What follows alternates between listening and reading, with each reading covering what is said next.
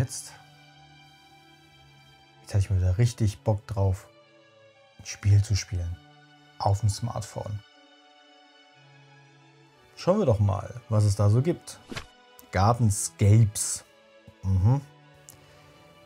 Kriege ich auf jeden Fall schon mal kostenlos. Geil. Oh, toll. Münzen. Münzen und Tickets. Hm, naja, okay. Subway Surfers. Na, sieht ein bisschen weird aus. Aber wir können ja mal schauen. Gibt es ja auch so zum Kaufen oder zum Laden. Natürlich. Coins. Man kann eine ganze Menge Coins nachkaufen. Okay, nein, danke. Uh, Frozen City. Ja, sieht interessant aus. Eine ganz gute Bewertung. Ja, ja. Mittleres Angebot, kleines Angebot und ein Haufen Edelsteine. Hm. Ja, Candy Crush, Soda Saga. Natürlich. Mhm, mhm, mhm. Kann man auch so laden. In-App-Käufe.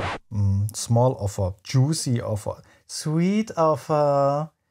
Mhm. Ja. Was soll ich dazu sagen, Leute? Wo ist die gute alte Zeit hin, wo man einfach nur ein Spiel gekauft hat und es besessen hat? Meist auf einer CD oder DVD.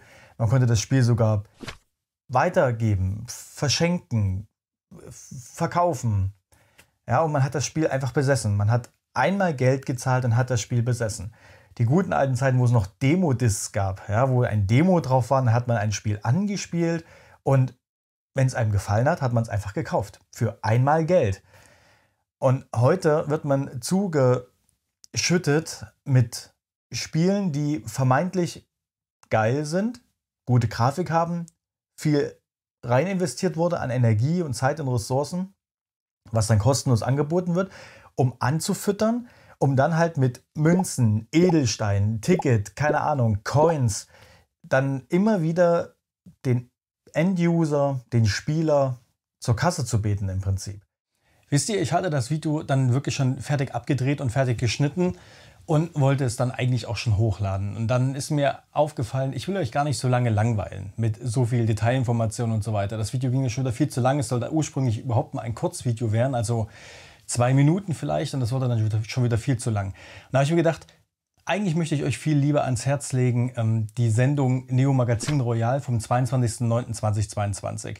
Da wird das Thema viel besser aufgegriffen, aufgearbeitet in einer viel besseren Art und Weise, als ich es jemals könnte. Von daher ich verlinke euch das in der Beschreibungsbox.